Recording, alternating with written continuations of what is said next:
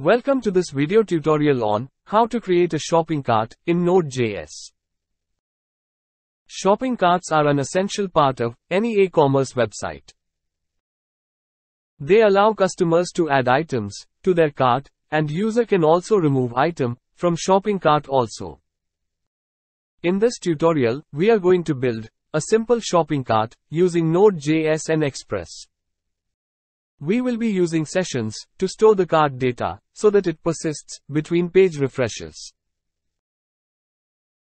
Now let's start discussing this topic. So this is testing database. And here, we have one product table, in which we have already inserted some product data.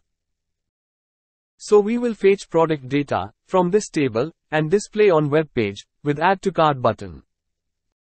Now here in command prompt, we have navigate to directory in which we will create shopping cart application.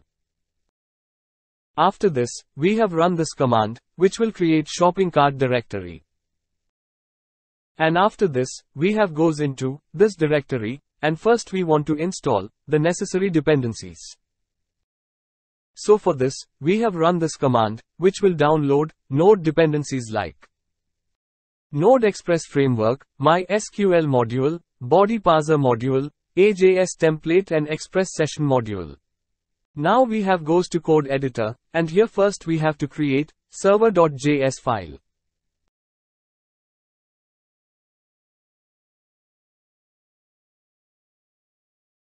After this, we have create one public directory, in which we will store product image.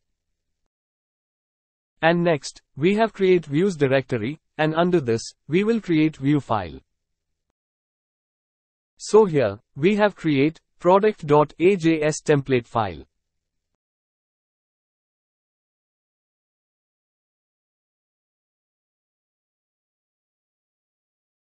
Now first we have goes to server.js file, and under this file, we have to write express variable is equal to request method with express framework. So it will import express framework under this file. After this, we want to import my SQL module, so here we have to write My SQL variable is equal to require method with my SQL module. Next we want to import body parser module, so here we have to write body parser variable is equal to require method with body parser module name.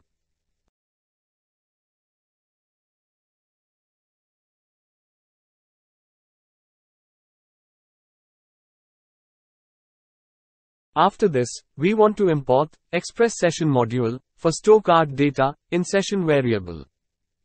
So here we have to write, session variable is equal to, require method, with express session module name. Now we want to initialize, instance of express framework, so here, we have to write. App variable is equal to, express method, which will initialize, new instance of express framework. Next we want to set up, body parser middleware in, express application, so here, we have to write. App.use function, and under this function, we have to write.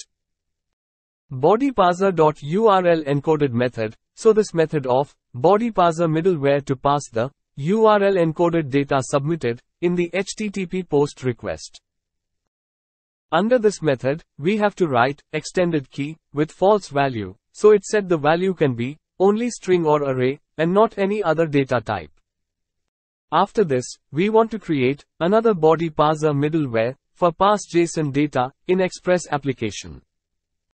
So here, we have to write app.use method, and under this method, we have to write bodyparser.json method. So by using this method, it will access JSON data in the request body. After this, we want to create middleware for serving static file. So here we have to write so here, we have to write app.use method, and under this method, we have to write express variable dot static method, and under this, we have to write public directory name. So from this directory, we will fetch product image and display on the web page. Next we want to set up EJS template engine. So for this, here we have to write app.set method with two argument. So here in first argument, we have to write view engine. And in second argument, we have to write EJS, so it will set up EJS template engine. After this, we want to make MySQL database connection. So here we have to write connect variable is equal to MySQL variable dot create connection method.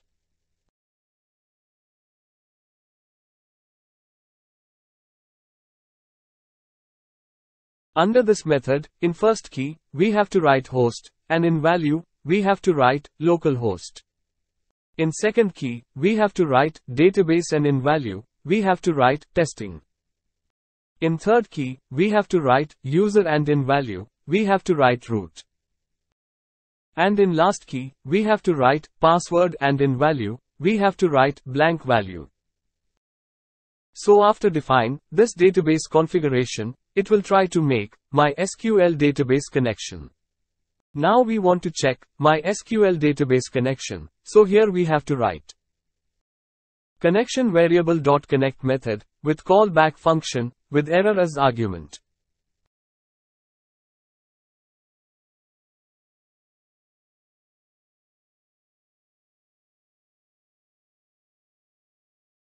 Under this function, we have to write console.log method with message like My SQL database is connected successfully, so this message will be displayed.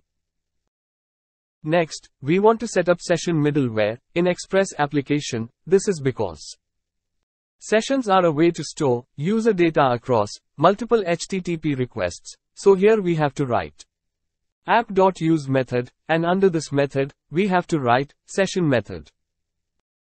Under this method, we have to define session configuration details. So in first key, we have to write secret, and in value, we have to write key, which will be used for sign the session ID. In second key, we have to write resave, and in value, we have to write false. So this option determines whether to save the session, to store on every request, but here. We have to write false, so it will save the session when it has been modified. In third key, we have to write save uninitialized, and in value, we have to write true. So this option determines whether to save session that is new but has not been modified. But here we have write true, so it will cause session to be saved even if it has not been modified. In last key, we have to write cookie and in value we have to write secure key with false value. This option specifies the option for the session cookie, so this code will create session middleware. Now we want to create route for load product data on web page with add to cart button. So here we have to write app.get method with two argument. In first argument, we have to write slash and in second argument, we have to write callback function with request and response variable as argument.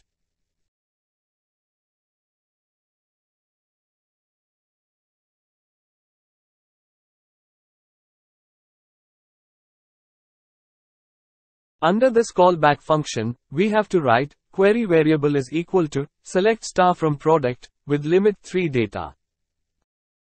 So this query will fetch first three product from product table and now we want to execute this query. So here we have to write connection.query method with two argument.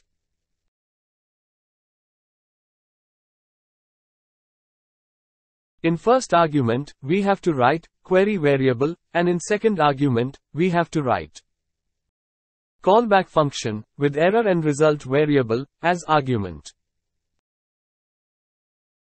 Now under this function, we have to write if statement and under condition. We have to write request.session.cart variable, so this condition will check. If this session variable is not exists, then it will execute if block of code. And under this block, we have to write request.session.cart variable is equal to blank array. So this cart session variable is not exists, then it will create this session cart variable with blank array. After this, we have to write response.render method with two argument. In first argument, we have to write views file name product, and in second argument, we have to write products key, and in value, we have to write result. And cart key and in value, we have to write request.session.cart variable. So here, we have sent product data and cart data to this product view file. Now we have goes to product view file and under this file, first we have paste this HTML code. After this, first we want to display product data on web page. So here we have to write open and close node expression and between this, we have to write products dot for each method and under this, we have to write product as argument.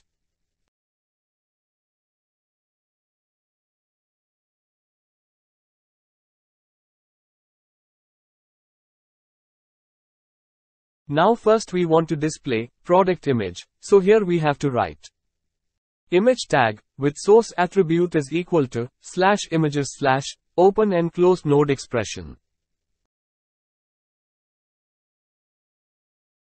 And between this, we have to write product.product image, which will display product image from public directory images folder.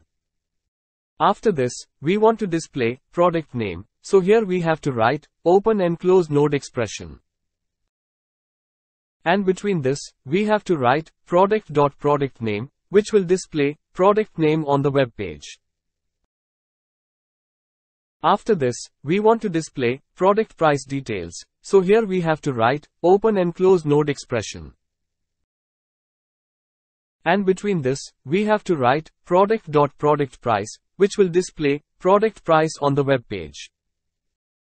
Now we want to create add to cart form. So here we have to write form element with method is equal to post and action attribute is equal to slash add cart. So when form has been submitted, then it will send HTTP request to this add cart routes. Now under this form, we want to store product ID under hidden element. So here we have to write input type is equal to hidden with name is equal to product ID and in value, attribute, we have to write open and close node expression. And between this, we have to write product.product product ID variable. After this, we want to store product name details in hidden field, so here we have to write input type is equal to hidden, with name is equal to product name, and value is equal to open and close node expression. And between this, we have to write product.product product name variable, which will store product name details in hidden variable. After this, we have to write input type is equal to hidden and name is equal to product price. After this, value attribute is equal to open and close node expression and between this, we have to write product.product product price variable so here we have store, product price details, under hidden element. Now for create add to cart button, so here we have to write, input type is equal to submit. Class is equal to button, and button warning, and value is equal to, add to cart. So by click on this button, we can add, item into shopping cart. Now we have goes to server file, and here we have to write, app.listen method, with two argument. In first argument, we have to write 3000 port number, and in second argument, we have to write callback function. Under this function, we have to write console.log method, and under this method, we have to write message like server has started on port number 3000, so it will start node application. Now for check output in the browser, here in command prompt, we have run this command, which will start node server. Now here in the browser, we have typed localhost, double colon 3000, so here we can see that product has been displayed on web page with product name and product price details. And with each product, we can see add to cart button, so by click on the button, product will be added into cart. So first before writing, add to cart code, so first we have to display blank cart data on web page. So here in product template file, we have create one HTML table with first table column like item name, quantity, unit price, total price and remove table column. Now here we have to write open and close node expression and between this we have to write if statement, and under condition, we have to write, cart.length value is greater than 0. If this condition false, then it will execute, else block of code, and under this block.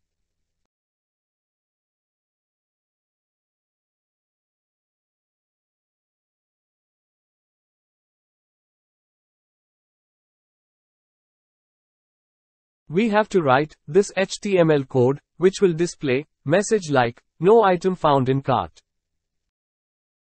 But suppose above condition true, then it will execute if block of code and under this block. We have to define one total variable with zero value and under this variable we will store total cart value. Now for fetch data from cart variable, so here we have to write cart dot for each method with item variable as argument.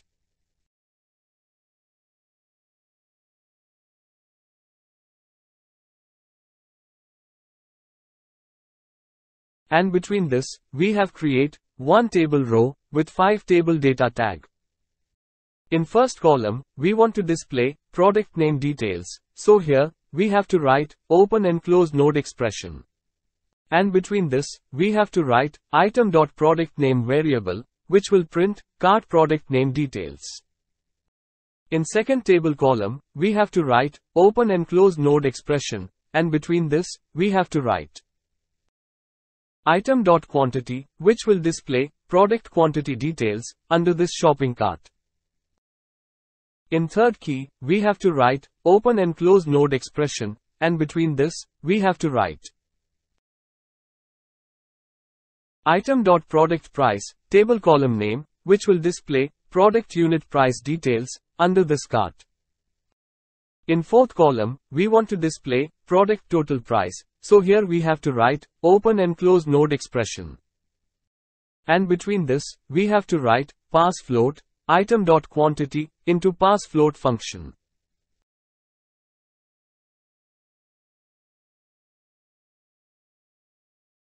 with item.product price table column, which will calculate product total price and display under shopping cart. And in last column, we will make remove button, but we will create remove button at the time of remove item from cart. Now we want to calculate shopping cart total amount, so here we have to write total variable is equal to total variable plus parseFloat function with item dot quantity into parseFloat function with item dot product price, so this code will calculate total value of shopping cart.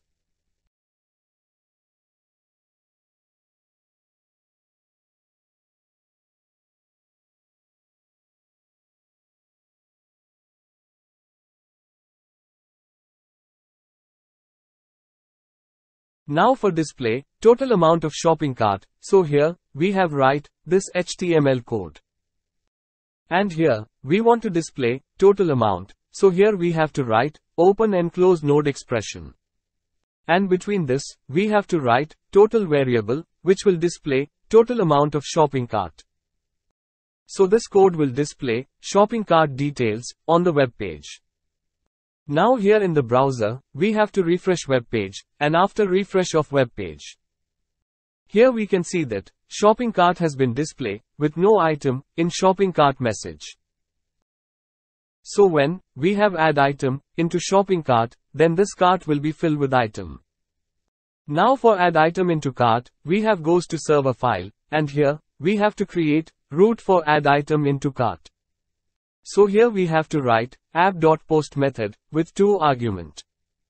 In first argument, we have to write slash add cart and in second argument, we have to write callback function with request and response variable as argument, and now under this function.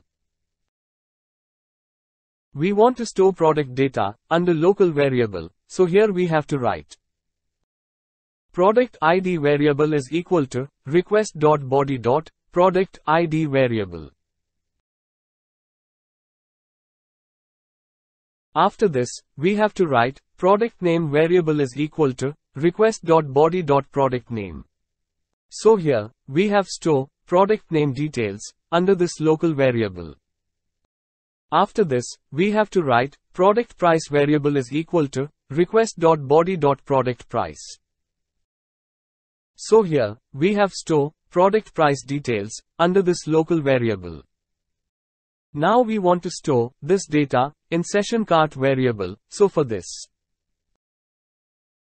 First here, we have to write count variable is equal to 0, so this variable value, which we will use for check item, already added into cart or not. So for this, here we have to write, i variable is equal to 0. I variable value is less than the value of request.session.cart.length value. And i variable value increment by 1, so on every loop, it will fetch data from cart session variable.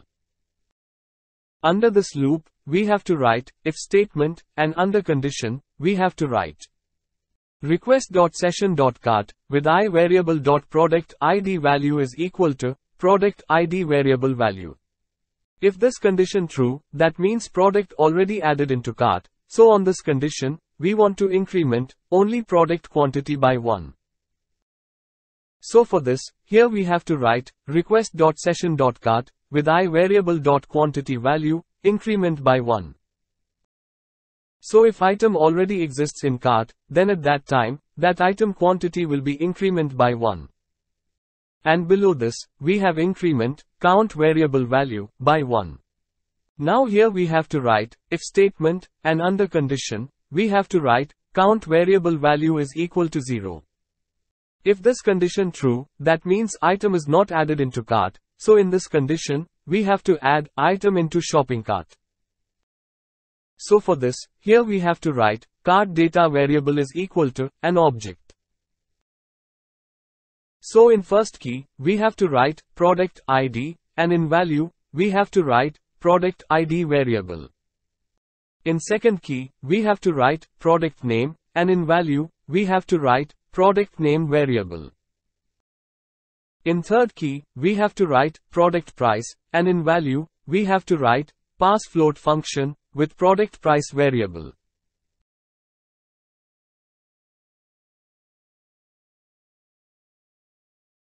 And in last key, we have to write quantity and in value, we have to write 1. So here we have store single item data under this cart data variable. Now for add into session cart variable, so here we have to write request.session.cart variable. And after this, we have to write push function, and under this, we have to write cart data variable, so it will add data into session cart variable. So after add data into shopping cart, we want to redirect web page to main root of this application. So here we have to write response.redirect method and under this, we have to write slash. So it will redirect web page to this root, and here, we can see that item will be added into shopping cart. Now here, we have refresh web page, and after refresh of web page, we can see product page and shopping cart display on the web page. Now we want to add this item into cart, so we have click on add to cart button. So after click on add to cart button, here we can see that item has been added into cart, which we can see in here. And here we can see which item has been added into cart with total price and now we want to add another product. So we have click on this product add to cart button. So after click on the add to cart button. Here we can see that second item has been added into shopping cart, which we can see in here. Now we want to add one more quantity of this product. So we have again click on this product, add to cart button. So after click on the add to cart button, so here we can see that this product quantity has been increased by 1. So this way, we can add item into shopping cart. Now we have show you how to remove item from shopping cart. So here, in JavaScript code part, we have create remove item function with item ID as argument.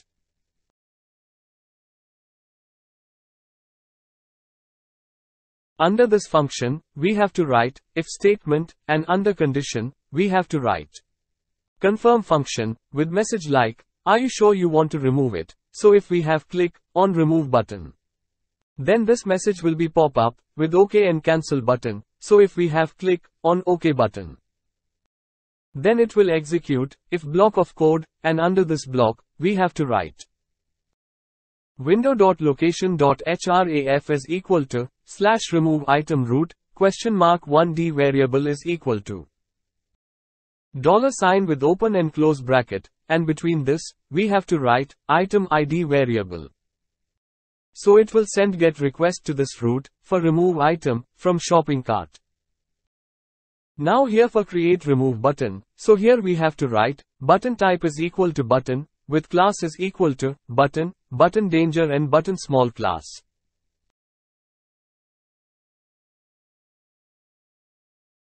After this, we have to write on click event is equal to remove item function. And under argument, we have to write open and close node expression and between this we have to write item.product ID variable and in button text we have to write remove. So it will make remove button which will remove item from shopping cart. Now we have goes to server file. And here we have to write app.get function with two argument. In first argument, we have to write slash remove item and in second argument. We have to write request and response variable as argument, so this route will receive request for remove item from cart. Under this function, we have to write product ID variable is equal to request.query.id variable. So here, we have store product ID value under this local variable and now for remove item from cart. Here we have to write for loop and under condition, we have to write i variable value is equal to 0. i variable value is less than the value of request.session.cart.length value. And i variable value is increment by 1, so on every loop, it will check all card data. Now under this loop, we have to write if statement, and under condition, we have to write request.session.cart with i variable.product id value is equal to product id variable. If this condition true, then it will execute if block of code for remove item from shopping cart. So here, we have to write request.session.cart.splice function with two argument.